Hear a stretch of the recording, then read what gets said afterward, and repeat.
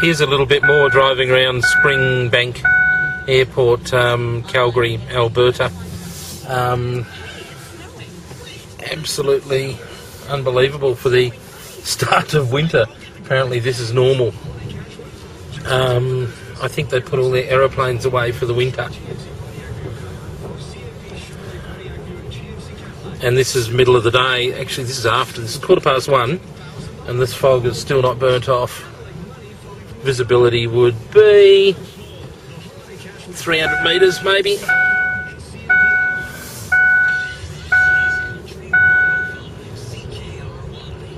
Here we go.